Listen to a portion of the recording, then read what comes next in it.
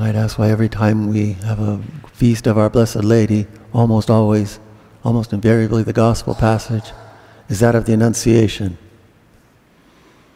But when you have an episode that encompasses almost every dogma of our Blessed Lady and expounds on that, it becomes no wonder.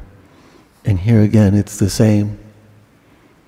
Because as the angel expounds to our Blessed Lady what is to happen to her, we see almost every aspect of Our Lady. First, the, the fact that she's mother of God. She's to be the mother of God.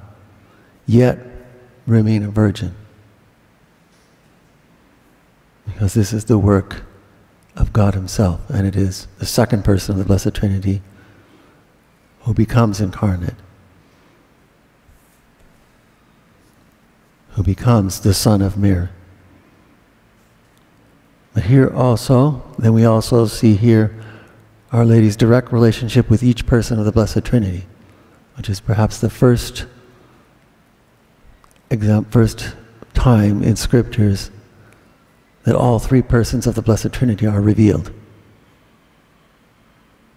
And is through her direct relationship with each person daughter of the Father, mother of the Son, spouse of the Holy Spirit. And then we see something else here, which is a great consolation to all of us. We see in her motherhood of God, she is also the mother of all of us. As mother of God, the one whom to she will give the name Jesus, the one who saves.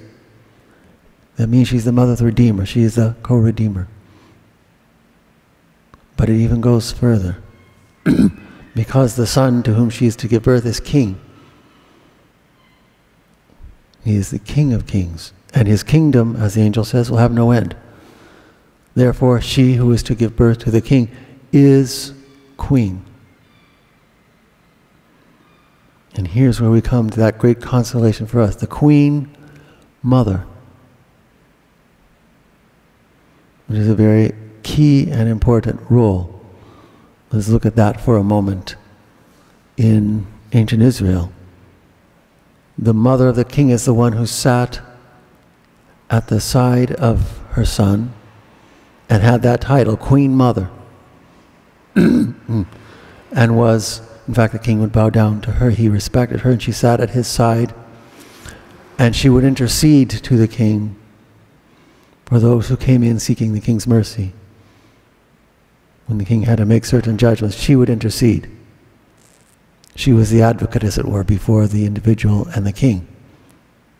And that's exactly where Blessed Lady is for us. She is our advocate before God in heaven, before the Father in heaven. She is the Queen Mother. And that is why we see her spoken of as standing at the side of the king, arrayed in gold. As the psalm repeats or chants. She is the strongest advocate we have before the Father. Precisely because she is Queen. And that's what we celebrate today, her queenship. That she is queen. And that she advocates before the Father for all of us. Therefore, she is also the mediatrix of all graces.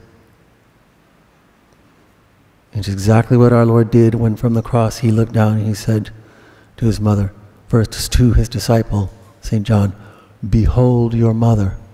And then to her woman, no, it's her, woman, behold your son. And Each word has an importance. Woman, behold your son. And then to the disciple, behold your mother. Woman, in the Greek, is a high exalted term. He's not deriding her at all. Basically, he's calling her queen. behold your son, are referring to the disciple, to all of us. We are her children. And then to all of us, behold your mother. She is our mother. But not just any mother, she is the queen mother, you see? And therefore, she is the strongest advocate we can have before the king, before the father, who respects the mother and will never say no to her. Let us turn to her then in our every need. Let us have recourse to her, and she will intercede for us before the throne of her divine Son for mercy and for every grace we need to achieve exactly what we are here for that is our salvation. Let us ask her graces then, ask that help from her. She who is our Queen and Mother. Praise be Jesus and Mary.